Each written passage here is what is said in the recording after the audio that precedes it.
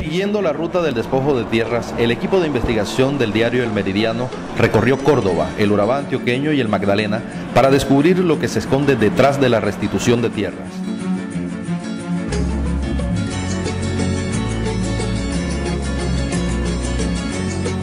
Montería es una ciudad que respira desplazamiento. En cada esquina de esta capital de 500.000 habitantes se observan las caras desdibujadas por el dolor o por el rencor de quienes lo perdieron todo.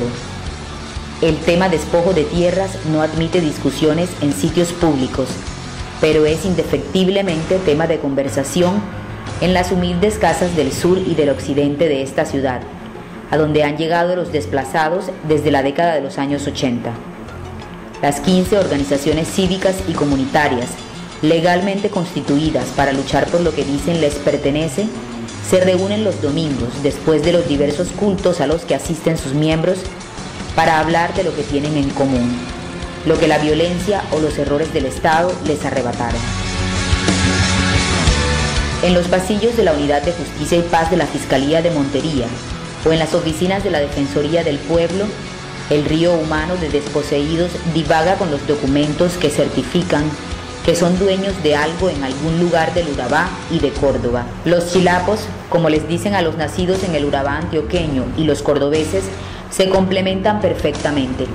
Los unen un lazo de sangre producto del accionar de la guerrilla y de los paramilitares que los han hecho cruzar la frontera innumerables veces durante tres décadas para huir de uno u otro actor armado. Han depositado sus esperanzas en algo que comenzó hace 10 años con la desmovilización de los paramilitares y fue la reconstrucción de la verdad a la luz de las nuevas leyes. Pero resulta difícil la materialización de una nueva reforma agraria en medio del conflicto. El día que el gobierno de Juan Manuel Santos proclamó la ley de víctimas y restitución de tierras, que pretende devolverle 2.481.000 hectáreas a víctimas de la violencia y campesinos, se desató en Córdoba y en el Urabá una revolución agraria de consecuencias insospechadas. Cualquier política de tierras afecta estructuras de poder, pero la que puso en marcha el actual gobierno colombiano sitúa a todos los actores en una nueva espiral de violencia, censura, injusticias y expectativas que los despojados califican de esperanza y los críticos de utopía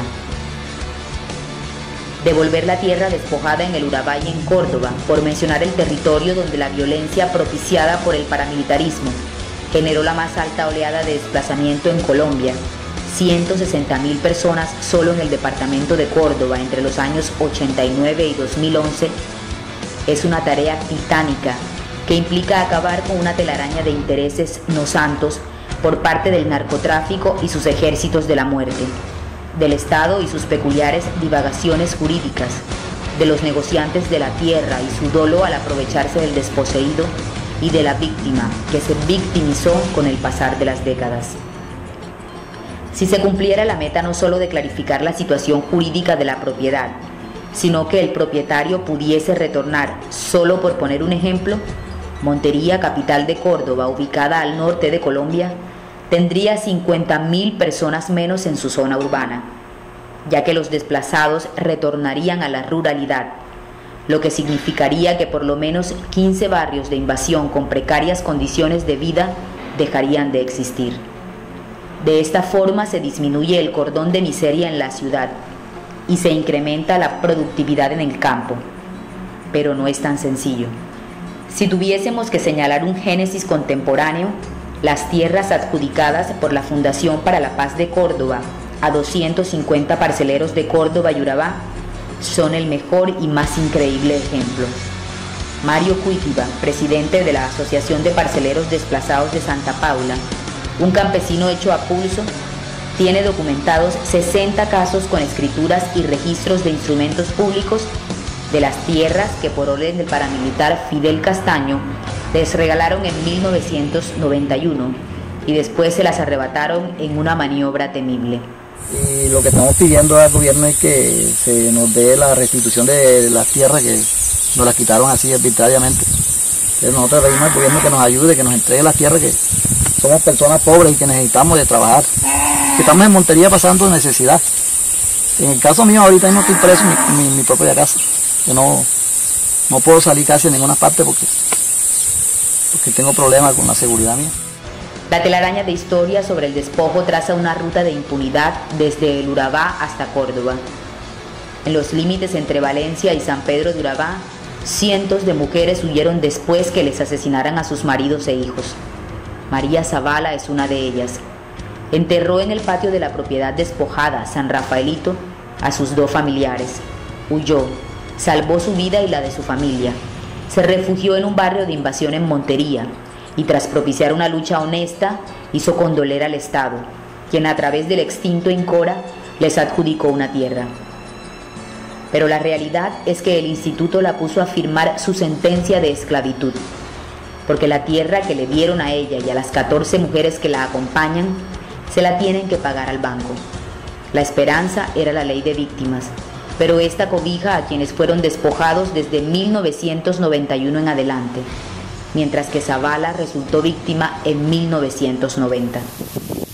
Bueno, de San Rafaelito, en, mis mejores años, digo yo, lo recuerdo eh, felices, bonitos y agradables hasta que llegó la guerra.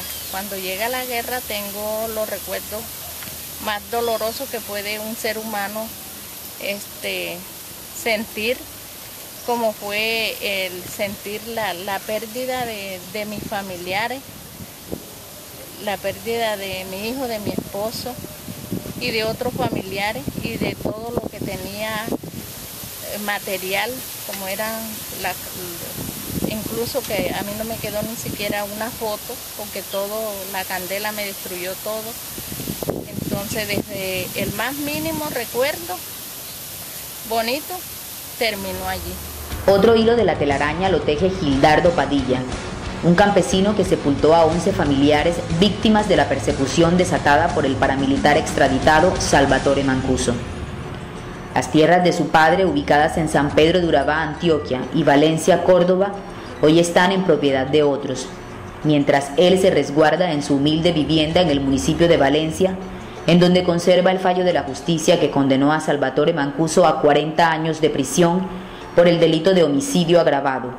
Gildardo Padilla se acogió a la ley de justicia y paz del gobierno de Álvaro Uribe y sigue como 20.000 cordobeses en lista de espera. Entonces a la familia Mancuso sí le devuelven las tierras y entonces a las víctimas sí no le, no le devuelven nada. Y que me han llamado aquí a decirme, mire, esto, eh, el señor Mancuso está condenado a tal, a tal, a tal cosa, a tal, a pagar esto. Nada. Yo esto lo conseguí porque el abogado vino y sacó, consiguió esto, pero más nada. O sea, me dieron este fallo. A mí nadie me ha cumplido nada. Al contrario, si uno habla mucho lo pueden matar. Sin embargo, esa misma normatividad sí arrojó esperanzas para los desposeídos de las parcelas Costa de Oro, Montería, y el Porro Tierra Alta. Luego de que Mancuso accediera a devolver los terrenos, la comunidad regresó. En un inusual derroche de esperanza, la fiscalía les devolvió los predios a los campesinos. Pero la realidad salta a lo absurdo e insólito. Néstor Enrique Ospino Rodríguez, de Costa de Oro, se desplazó en 1994 y retornó en 2009. Cuando iba a recoger su primera cosecha, le llegó el recibo del impuesto predial que le debe pagar al municipio de Montería por los años que su terreno estuvo en poder de los paramilitares. La verdad es que nosotros aquí eh, nos hemos ido organizando casi que solo, porque no hemos obtenido ninguna clase de ayuda del gobierno, sino la restitución que nos dieron. Aquí está la tierra y muéranse ustedes si quieren morirse aquí. Y defiéndanse como puedan aquí. Pero todos los compromisos que hizo el gobierno con nosotros no nos ha cumplido ni uno, sino entregarnos las tierras. No y hemos luchado, hemos metido solicitudes de proyecto por todas las entidades y no hemos tenido el primer proyecto. La gente nos están cobrando un impuesto que nosotros no debemos. Ese impuesto lo debe Mancuso. Fueron casi 15 años que tuvo la tierra, entonces nos lo está cobrando el alcalde a nosotros, nosotros vamos por los recibos. Yo estoy casi en 2 millones de pesos. Le digo al alcalde, pero no me dio una respuesta, sino que hay que pagar el impuesto. A los del Porro no les llegó el predial, pero sí la violencia, asegura Jesús Antonio Pulgarín.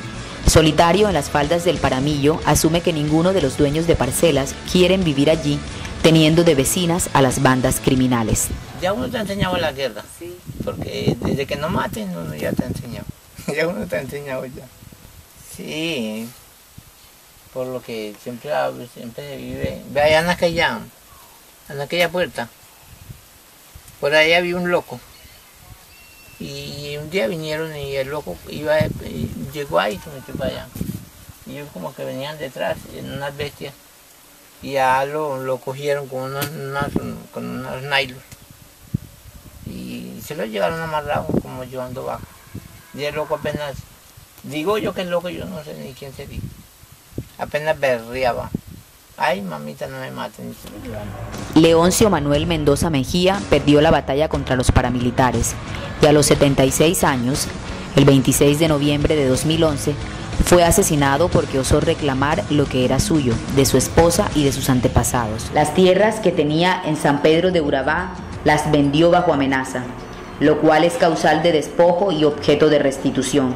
Sus hijos, los herederos de una tierra que esperan sea reconocida como despojo por parte del paramilitar Jesús Ignacio Roldán, alias Monoleche, aguardan protegidos por dos escoltas de la policía que parquean su Hyundai modelo 2005 en las afueras de una casa desvencijada en el barrio Mogambo, suroccidente de Montería. He perdido tres familiares en este, en este proceso de la violencia en Colombia. En el año 94 desaparecieron un hermano mío, en el 2005 asesinaron uno en Guadual, Valencia, y el más reciente de mi propio papá. Entonces, que no, que no sea tanta tramitología de documentos, sacar leyes y decretos, sino que se hagan realidad de las cosas, porque cada día se ponen las cosas más difíciles en lo económico, la situación del orden público y tantas cosas y vemos que el Estado se hace como el, un poco, pues yo le diría un poco el oreja sorda.